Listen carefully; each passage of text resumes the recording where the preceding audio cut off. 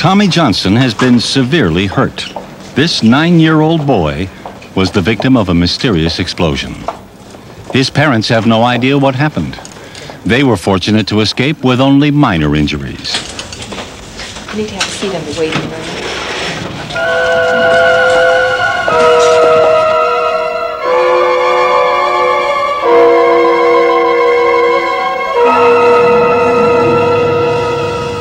I'm heading the investigation. The only lead we have so far are shell fragments, which could be from a grenade, I'm told. A grenade? Yes, ma'am. Were there any old shells or military souvenirs in the house? No. No, I never brought home anything like that from post. Could the boy have possibly picked up something when he visited you at work, Sergeant? No, I'm in transportation. I never even see ordnance. But you know, I never talked to Tommy about not picking up shells and duds. Oh, Tom. The investigation will soon confirm that the explosion was caused by a 40 millimeter grenade dud. They'll also learn how, through an unlikely chain of events, this dangerous dud found its way into Tommy's possession. But they will never find out that many years before, Tommy's own father may have unknowingly started the sequence of events that led to this tragedy for his son. Over 200 accidents with military duds are reported each year, many of them occurring outside the line of duty.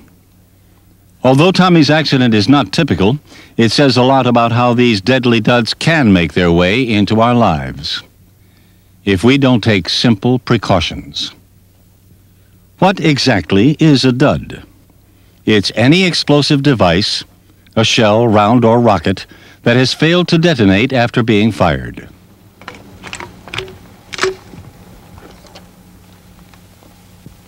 Duds normally begin and end their life here on a firing range, not far from where they were fired, which is as it should be if they were left alone.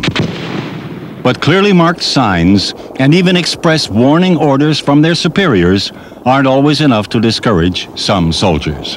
It may be thrill seeking, ignorance of the danger, or just a misguided belief that things always happen to the other guy the majority of accidents occur when military personnel insist on ignoring both regulations and good common sense.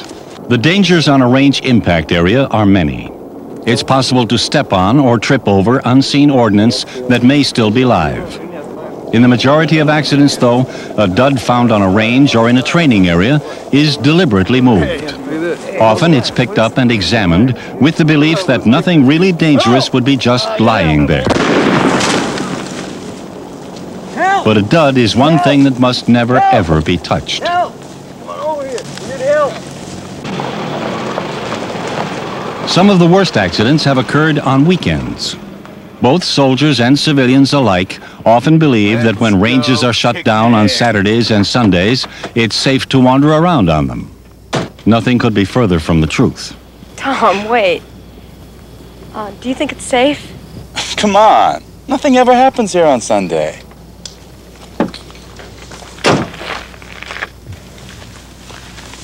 It was on this day, two years before Tommy was born, that the seeds of his accident were sown. Couldn't do it. so I joined the army. Yeah. Hey, there's a funny kind of flower. Where? Right there.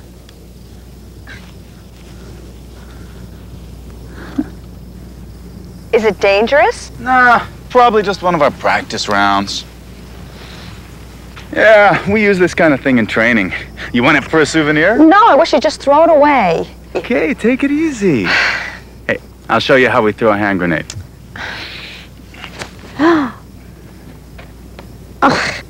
You see, it was harmless. This young man has foolishly risked his life and that of his girlfriend by violating the first cardinal rule in dealing with duds. Never touch them. Ready? Mm-hmm. Smile. All right. One more. How about this? Beautiful. Great. All right, enough. It's my turn. Okay, just press the button there. Okay, right here. Mm-hmm. It's all set. Smile. One more. Okay.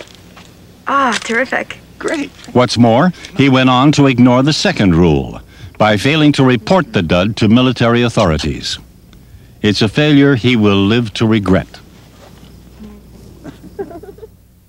Duds can explode at any time. They occur among such a wide variety of explosive devices, with so many fusing systems, that not even explosive ordnance disposal technicians can be sure when, why, or whether a dud will explode. This collection includes some types that have already killed or seriously injured people. The M106 millimeter HEAT round. The M72 light anti-tank weapon LAW round. The 60mm HE mortar round. And the 40mm grenade. It may look small and harmless, but this is a particularly dangerous dud for several reasons.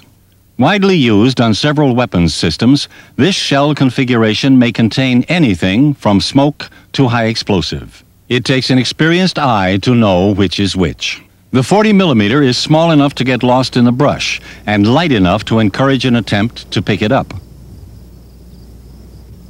Duds are actually much more dangerous than new ammunition. That's because until a round is fired, the fusing inside has not been activated. But once it has been activated, the dud shell could detonate from minor vibration, heat, or even humidity changes. So unlike a new round, a dud is totally unpredictable.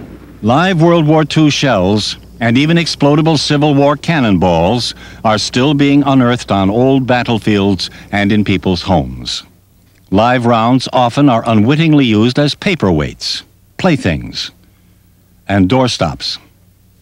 Surprisingly, it's another class of duds that causes the largest number of accidents. These are training simulators. They don't carry the devastating explosive charges of mortar, grenade, or other rounds, but they are capable of severely burning and maiming people due to the fast igniting photoflash powder they're filled with. They can also be duds and must be treated with the same safety measures accorded to all duds.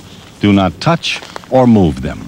And report their location to authorities so that no one else can be injured. Simulators are used for many training purposes, but there's nothing simulated about the injuries they can cause. Hey, cause. check it out, man. Hey, don't mess with that. It's dangerous. Hey, you gotta have some fun in life. Sergeant! Sergeant! Come here!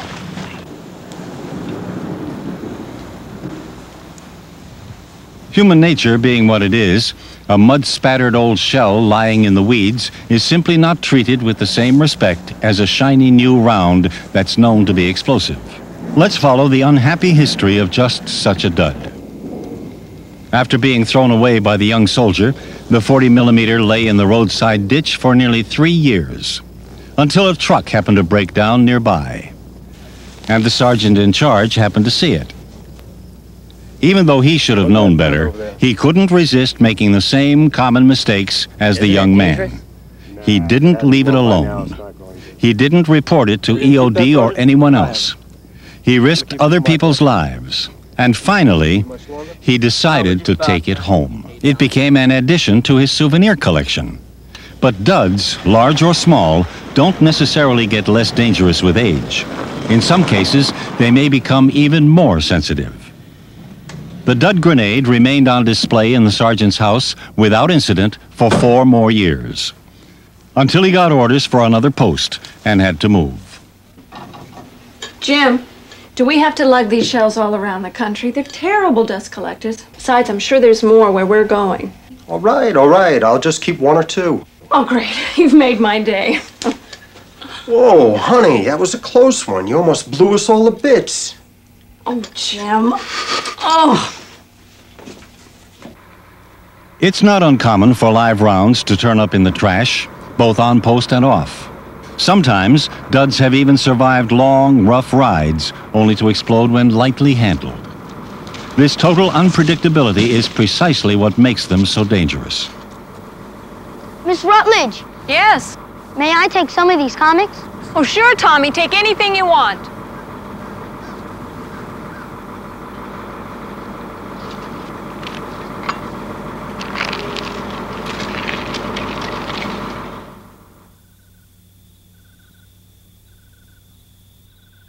Tommy, dinner's ready.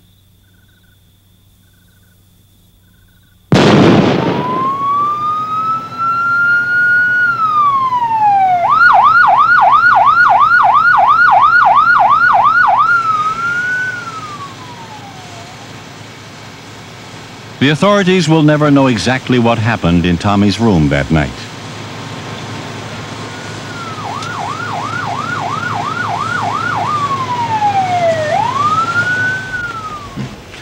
How's she doing now? We're still in the operating room. Nobody's promising us anything.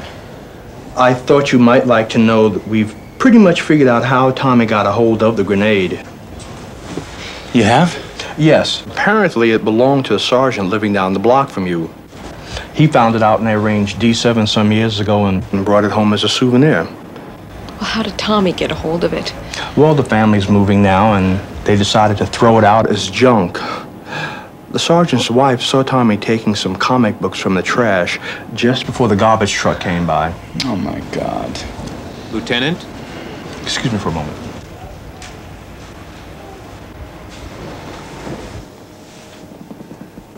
You know, range D7 is where we went walking a couple of times before we got married. Is that the place where you picked something up and I asked you to throw it away? Yeah, and it was a 40 millimeter grenade. I remember that. You don't think it was the same one, do you? No, it couldn't. It would be almost impossible. I should have told the MPs about it. Tom, don't torture yourself. We're never gonna know for sure anyway. I know that. That's what's gonna haunt me. Sergeant Johnson should have handled it differently. Let's take a look at how things could have gone that day. How it happened. hey, there's a funny kind of flower. Where? Right there. Um, Tom, wait. I don't think you should pick it up. That's the last thing I'm gonna do. Come on. Those things can go off just from footsteps. What are you doing? I'm gonna mark the spot so that the EOD people can find it when they come.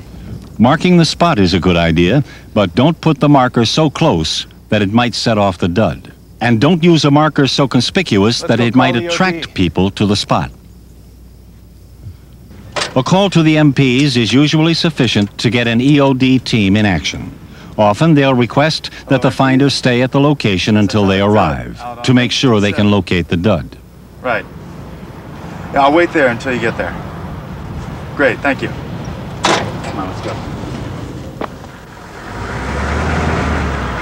EOD personnel are trained to remove or dispose of duds. It's their primary job. On arrival, he will conduct an assessment of the situation to decide if he can remove the dud. 40 millimeter grenades are notoriously sensitive. Most often they will be destroyed where they lie. If these EOD professionals treated dud with this much respect and wouldn't consider moving it by hand, you can be sure it's not something for you to be toying with. Army regulations, in fact, clearly state that duds will not be recovered, handled, or otherwise tampered with by any individual except explosive ordnance disposal personnel. No dud, be it a grenade, rocket, or rifle round simulator, or even blasting cap, should ever be touched. And that message needs to be conveyed to every member of the family. What's more, anyone finding a dud anywhere has a moral, if not legal, responsibility to report it to the proper authorities, be it the police, MPs, or EOD personnel. Fire in the hole! Fire in the hole!